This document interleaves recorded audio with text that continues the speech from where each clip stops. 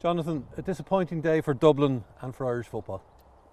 No, absolutely, and uh, it's not just a disappointing day for all of the FAI staff here at um, our offices in Abbotstown, um, but also for many other people who've been working actually tirelessly on the project for um, for over seven years now. So our um, our bid partners uh, at Dublin City Council, uh, the government and Aviva Stadium, and we want to thank them for all of their support and help over that period, but also our event partners uh, with the LOS team, um, and in particular our 1200 volunteers um, who have also worked extraordinarily hard uh, to get to this point. And let's be clear, we were ready to, um, to host the games uh, if we were allowed to.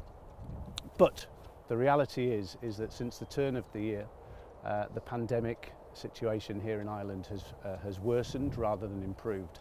And as much as uh, UEFA wanted to have fans uh, in our stadia, uh, the government, uh, as hard as they tried, couldn't find a way to uh, allow us to have uh, the 25% that UEFA wanted. And uh, in the end, uh, as we have done across the whole of uh, the past 12 months or so, uh, we absolutely respect the government's position and ultimately public safety uh, is the most important thing. And uh, so in the end it became quite simple. Uh, UEFA wanted fans in the stadia.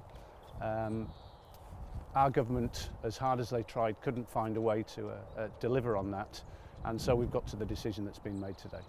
It'll be a particular disappointment for the Polish and Slovakian communities living in Ireland.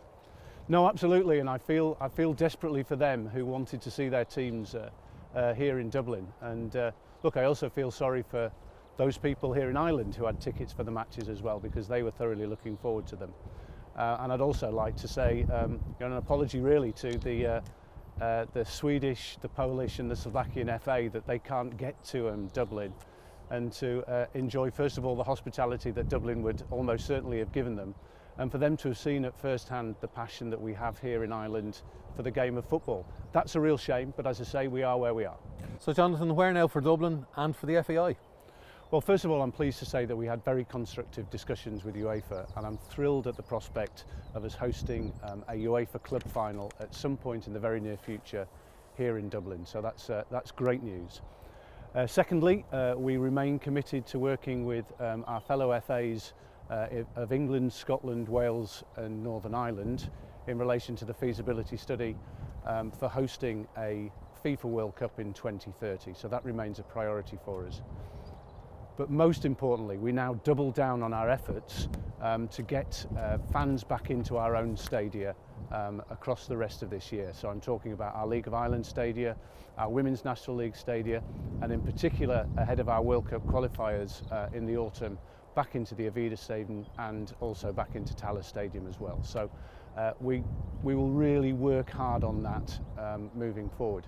And then secondly, um, I think probably it's fair to say when Uh, when one door closes, another window opens. So I'm actually thrilled that we can say uh, that on Monday, our younger players can get back to non-contact training. So that's a really important point for us. And our commitment now is to push government as hard as we can to get all of our players back and playing and training uh, and enjoying the game of football that they love.